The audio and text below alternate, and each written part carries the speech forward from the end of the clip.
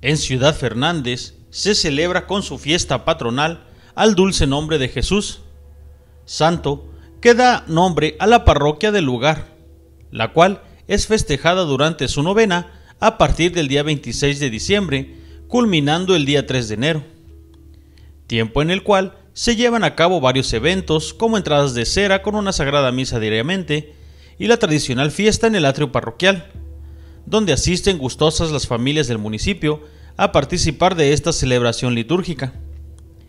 He aquí un poco de la historia del nacimiento de la veneración al dulce nombre de Jesús en la Iglesia Católica.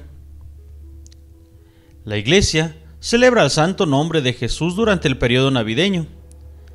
Desde los primeros siglos del cristianismo, los cristianos empezaron a invocar este bendito nombre, pero como fiesta litúrgica se celebró por primera vez en el año de 1530, cuando el Papa Clemente VII concedió a la Orden franciscana el privilegio de poder celebrarlo con oficio propio. Con posteridad, en el año de 1721, el Papa Inocencio VI la estableció como fiesta para toda la Iglesia Latina en el segundo domingo después de la Epifanía. San Pío X la trasladó al primer domingo de enero, pero si este domingo coincidía con la Epifanía, el nombre de Jesús sería celebrado el día 2. Y actualmente se celebra el día 3 de enero. El nombre de Jesús invocado con confianza brinda ayuda en las necesidades corporales según la promesa de Cristo.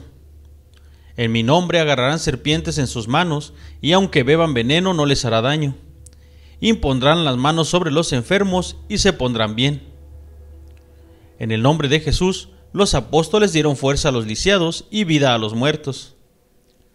Da consuelo en las pruebas espirituales. El nombre de Jesús le recuerda al pecador, el padre del hijo pródigo y el buen samaritano. Al justo le recuerda el sufrimiento y la muerte del inocente Cordero de Dios. Nos protege de Satanás y sus artimañas, ya que el diablo le teme al nombre de Jesús, quien lo ha vencido en la cruz. En el nombre de Jesús, obtenemos toda bendición y gracia en el tiempo y la eternidad. Pues Cristo dijo, lo que pidan al Padre se los dará en mi nombre. Por lo tanto, la Iglesia concluye todas sus oraciones con las palabras, por Jesucristo nuestro Señor. Así se cumple la palabra de San Pablo, para que al nombre de Jesús toda rodilla se doble en los cielos, en la tierra y en los abismos. Daniel Cárdenas, Noticieros Cable RB.